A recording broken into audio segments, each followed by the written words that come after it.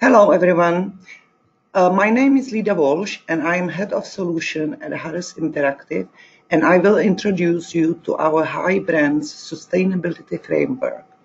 Later on, we will share with you some case studies from banking sector, newspapers, energy, and spirit category. For some time, we were thinking if the traditional frameworks for measuring brand equity models are reflecting the modern way of marketing brands. There's evidence that looking only to brand equity and penetration is not enough to build a sustainable brand. Brands owners are interested how their brands will perform in the future.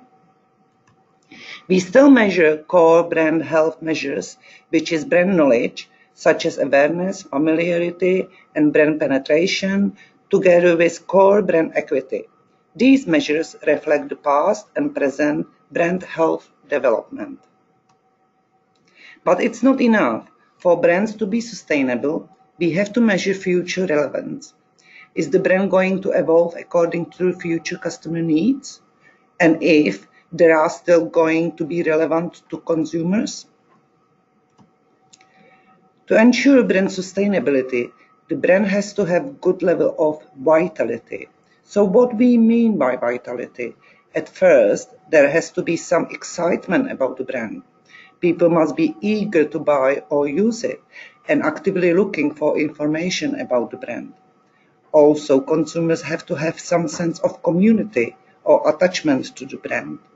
It means that there must be two ways interactions with the brand to allow co-creation. And there must be some level of empathy, such as personal identification with the people from the brand and empathy with other users. Then we calculate a high brand scores. There are 13 core questions which need which feed into the high brand pillars. These were extensive, extensively researched and validated during the framework development. A mechanism how to calculate uh, one number high brand score was identified and it was proven that this score strongly correlates with the marketing outcomes of brand consideration and consequent purchase. However, what we find even more interesting is the brand sustain sustainability metrics, which gives us deep diagnostics. The vertical side of the matrix shows how strong a brand is, is in terms of its penetration and equity, which are the traditional measures. The horizontal side shows to what extent the brand is future relevant. The size of the bubble shows brand vitality. Building brands scores low across all measures. They have low future relevance and very low vitality. Second quadrant represents strong brands. These brands have high penetration and equity, but low future relevance. The level of vitality tends to be also very low. Challenging brands quadrant is very interesting. These brands are shaking the market and challenging status quo. They are future relevant, they have massive vitality, but these brands still working towards improving penetration and brand equity. They tend to be niche. Compelling brands have it all. They are future relevant, have great penetration and equity, and their vitality is very healthy. And now I ask my colleague Mark Hurst to share with you, you outputs from the banking sector. Thank you, Lida. Hello, I'm Mark Hurst, one of the research directors here at Harris.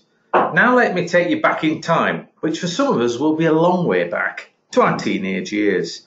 Sat with your cassette tape deck on a Sunday evening recording the top 40, hoping you had enough space left on your C60 tape.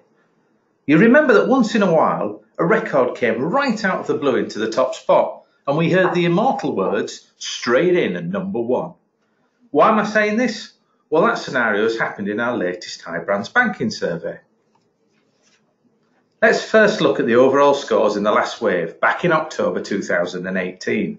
Nationwide led the way, followed by Santander, Halifax, Lloyds and Metro Bank. Now let's jump forward to the latest wave. And whilst many of the brands have remained more or less in the same position, straight in at number one is Monzo. And it's not been a case of just sneaking ahead. No, it's in front by a considerable distance, 0.23, which is virtually the same spread that covers the next four brands. Let's have a look at how these scores are made up using our high brand sustainability matrix, starting again with the last wave. Back in October, Nationwide led the way by scoring well across the three key areas that the Hi Brands matrix is showing. Also interesting to note was Metro's position.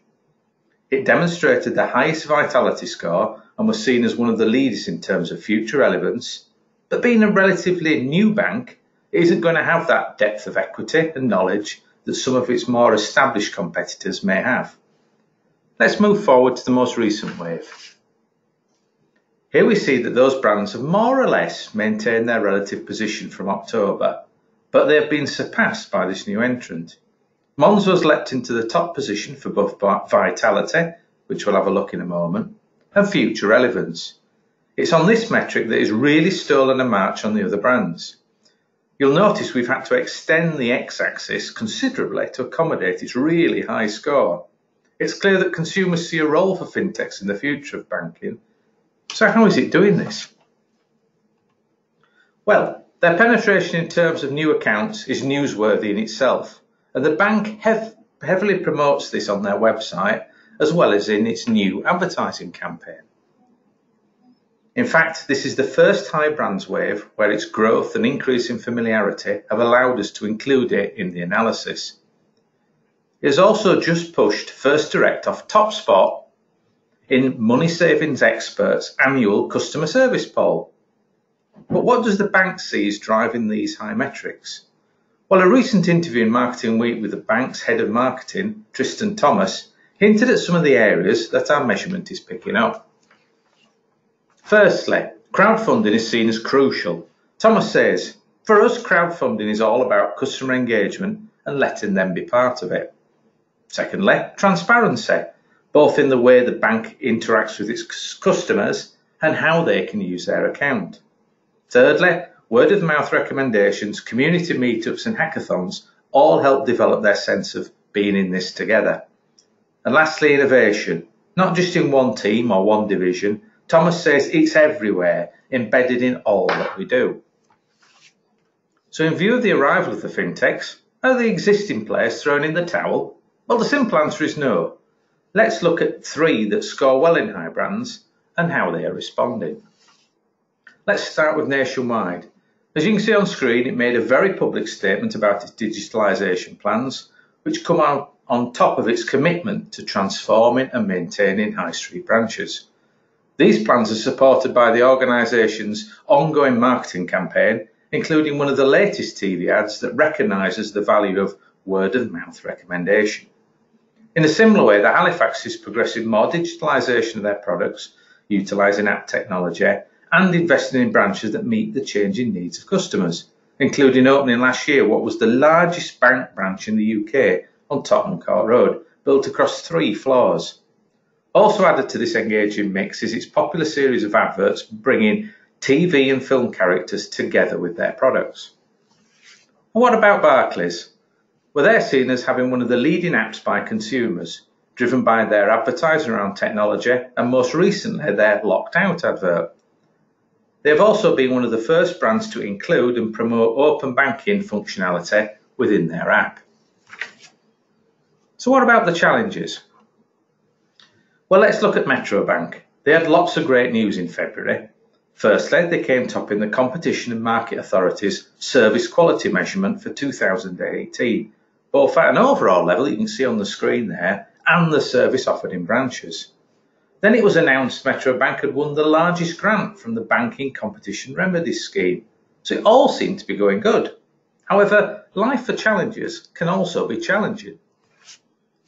Both Metro Bank and TSB have found that building challenger banks is not always straightforward, whether it's an issue about how certain loans are accounted for or large IT failures. They lead to poor PR, and this in turn can affect consumers' views about a brand's future relevance. TSB is a good example of this. Here is TSB on the sustainability matrix back in October 2017. The bank, off the back of its launch, brand positioning work, and supporting advertising, was starting to differentiate itself and move into the compelling area of the matrix.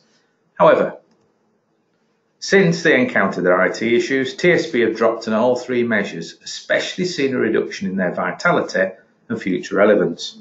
It'll be interesting to see in the coming waves whether the new CEO and his team can rediscover that momentum that the brand had 18 months ago. So in summary, whilst the latest hi brands results in the banking market show the impact that the fintech brands can have through their engagement approaches, the results and our investigations also show that the more established brands are not lying down and are looking to make a fight of things. We will watch the results through the next wave of hi brands with interest.